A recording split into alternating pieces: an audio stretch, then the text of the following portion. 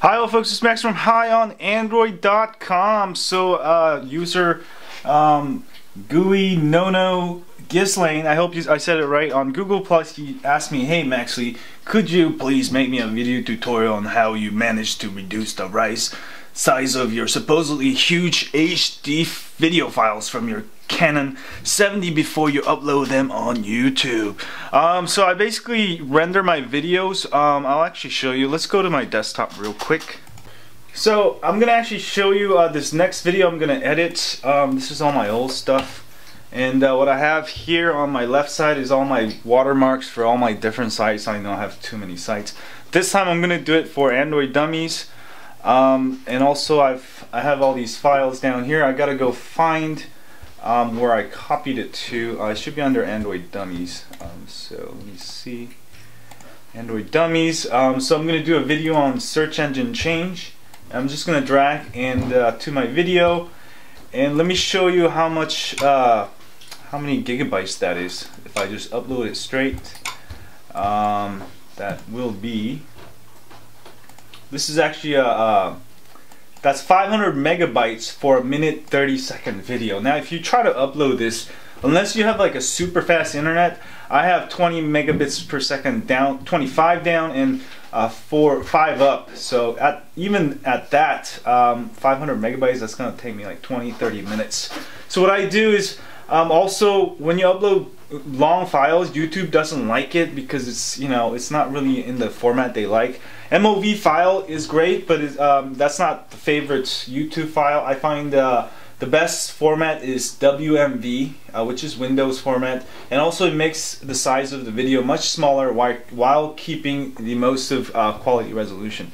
So let's go here. I've got uh, my video here and I'm gonna drag and drop my AndroidDummies.com here which is shows my uh, watermark.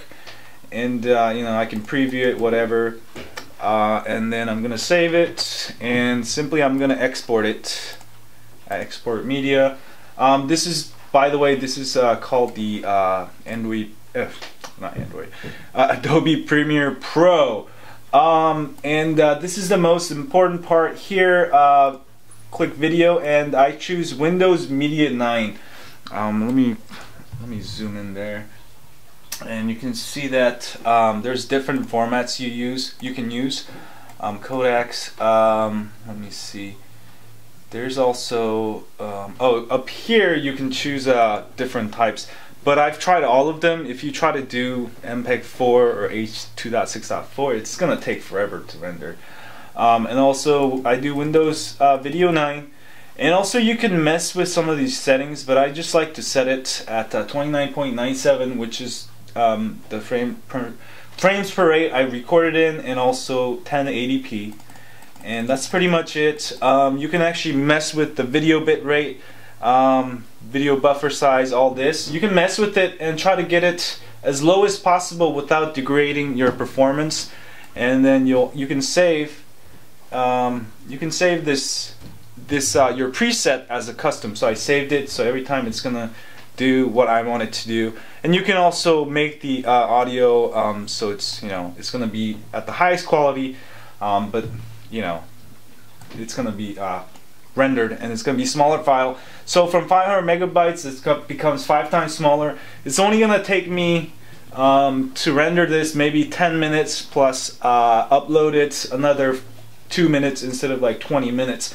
So if I render it and upload it, I actually save time than just uploading the whole video. Plus I can put my um, my watermark there because you know people want to find this video sometimes all these you know all these people a lot of Chinese sites they'll they'll um, if your video gets famous they'll take it they'll put it on your uh, put it on their servers and you won't get any credit for it but if you put your watermark there um, users they can always see where this video is actually from and they'll look up androiddummies.com after they see the video. So that's another very important part of making your video. I used to not do this, but after I did it, um, people would find a way back to my site. So I'm gonna uh, put it on queue.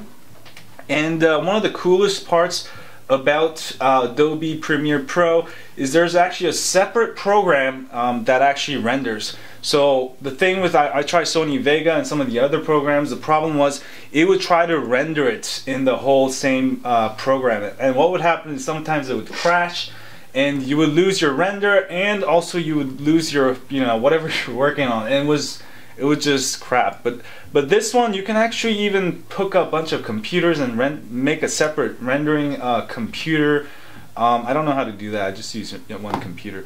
But this is great. I can have it render. I can even pause it. Um, you know, if it's taking too much time, I can always, you know, I can even close this because I'm done. And my rendering program is, uh, you know, gonna have a more memory. And also, there's some stuff you can do um, pref under preferences. Uh, make sure. Let me see. Preview while encoding is off because they'll make it uh, encode faster. And also under memory, you can actually increase the memory used for um, for your uh, rendering. So I've got it at 6.5 gigabytes, so it'll render faster. And uh, so after it's done, I'm gonna upload the WMV file that's made, and that's pretty much it. So that's how I render my videos, and uh, I think it's a good way. I mean, if you're just gonna upload like you know um, SD videos, like you know low resolution videos, you don't need this Adobe Premiere Pro. But I just do it because I use um, 1080p exclusively, and you know one of the one of the reasons I do that is my video looks cooler than somebody who uploads a blurry video. Um, and also, you know, with this rendering, it's gonna make my video look crisp clear, even if you don't hit that HD button. So that's why I'll do all this. I'm not a to total professional about all this, but you know, I'm just sharing what I'm doing, and I hope this helped you. And uh, if you like this video, don't forget to hit that like button. Subscribe to my channel, share with your friends on Twitter, Facebook, or Google+. And uh, we're going to go get high on Android now. See y'all later.